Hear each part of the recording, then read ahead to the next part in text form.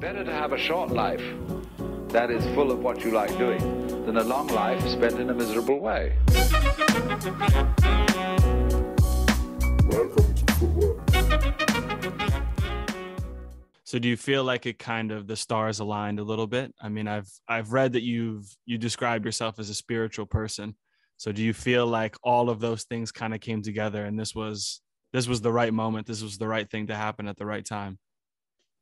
For sure. I I really do. It's I was uh, to say like the the time waiting for the last 2 years to play professionally again was difficult is like I mean, it was really difficult and and um, just kind of fighting that the pressures from society and like mm. your family, whether they mean it or not or whatever. Just um, it was really tough and but there was all of these things that I think I was supposed to be. I was supposed to not get to go yet. Like I was supposed to be at home spending time with my family for for said reasons. I was supposed to be spending time coaching and giving back to the game by by teaching younger girls. Like I was supposed to be doing all these things, which then made me even more probably prepared and excited and ready for this opportunity when it came.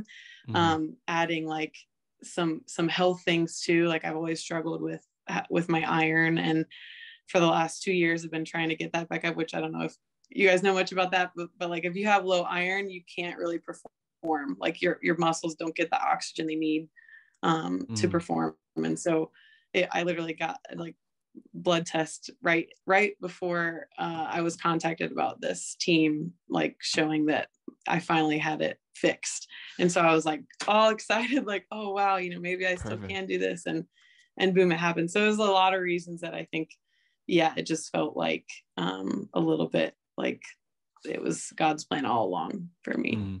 So wait. And so and during that time though, I mean, I guess it's a little easier afterwards to see like, okay, this was meant to be, this was meant to be. But like you said, during that time uh, that you're spending at home without a contract, thinking, is it time to hang up the boots?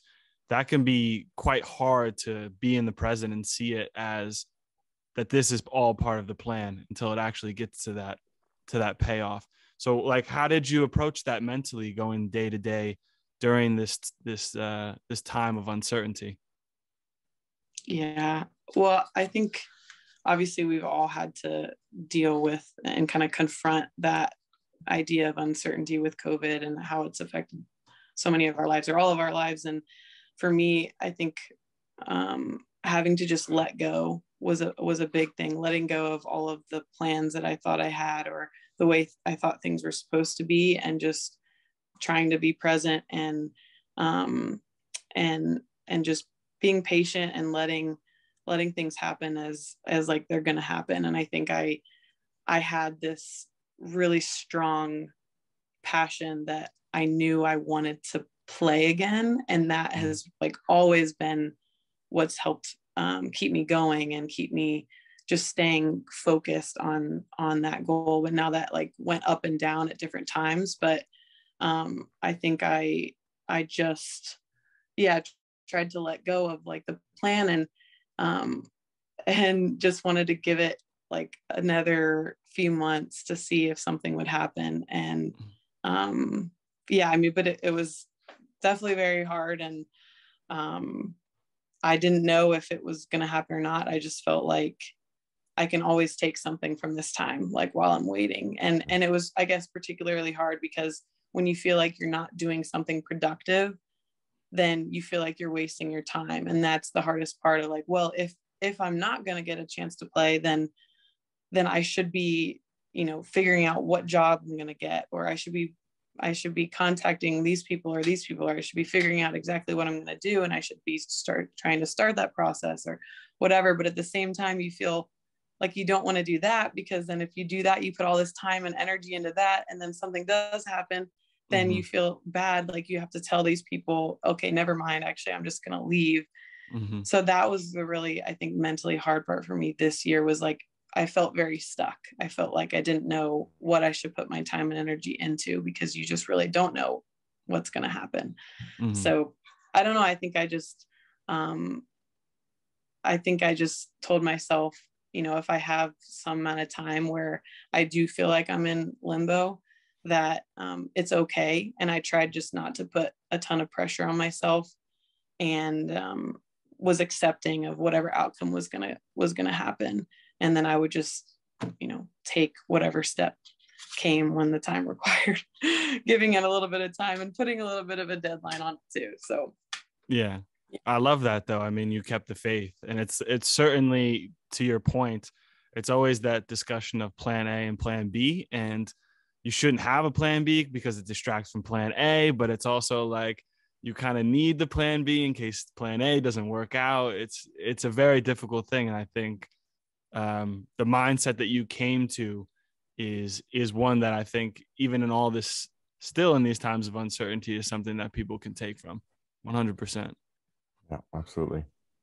So, I mean, you signed for Fenerbahce this this November, um, and I've seen the results, and I've seen, um, I mean, you've worked your way into the team right away, starting uh, center mid. I love the way you play. It's like that six eight, that quick on and off the ball, getting into the pockets of space.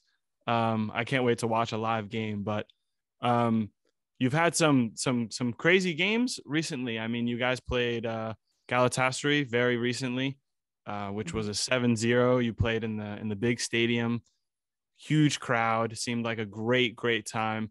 Um, but there was also a lot of things that surrounded the match, including some some um, statements that you guys as a as two teams together uh, kind of came out came out with. So, can you tell us about that experience and um, bring us into that day, that game, and those statements? Yeah, we um, with Galatasaray, it was really our manager that I think it was her idea to because this was the first time that two huge clubs were coming together as women's teams. Both both of us are are the first were the first women's clubs at, at Galatasaray at Fenerbahce for women's football.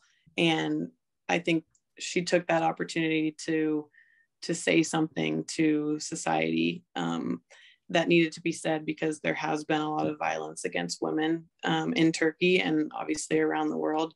And it was in um, like connection with the UN's um, 16 day campaign to end violence against women. So it was kind of around that's like the timing fit to play the game for that for that cause. And just the statement that it made that here we are like two new women's teams and we're coming out. And yes we're insane rivals um, but at the same time we are all women and we're standing here together saying this this is more important.